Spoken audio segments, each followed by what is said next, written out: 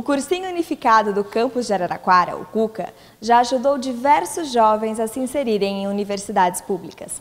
E para quem tem o interesse em se matricular, fique atento, pois as inscrições vão do dia 21 de outubro até 29 de novembro. Quem fala mais para a gente é a gerente da Educação de Jovens e Adultos, Rosane Araújo. Olá, Rosane, para a gente entender melhor o que é o CUCA. O CUCA é um cursinho popular, né, que é um convênio estabelecido entre a Prefeitura Municipal de Araraquara e a Unesp. E nós temos três unidades no município de Araraquara que atendem esses alunos que estão fazendo o pré-vestibular.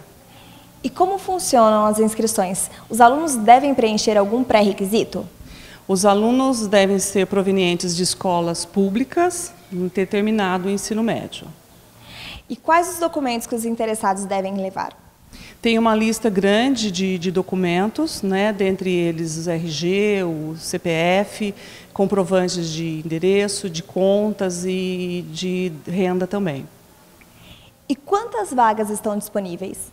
São 250 vagas em Araraquara, né, através desse convênio de cooperação acadêmica, sendo distribuída em três unidades a unidade do Centro Manhã, que as aulas são no período da manhã, no Núcleo de Educação de Jovens e Adultos, na Rua 5.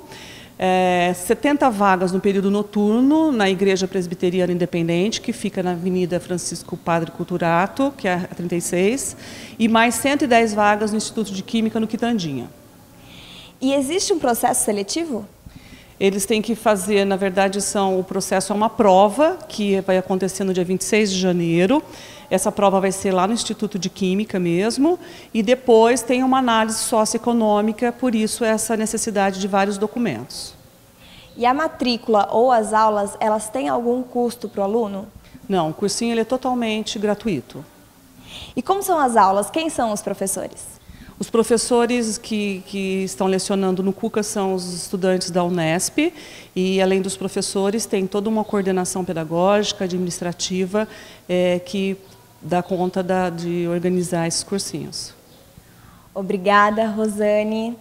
Lembrando que o Cuca é gratuito e os interessados que quiserem tirar qualquer dúvida é só ligar pelo número 3301 1912. Carolina Faria para a TV Câmara.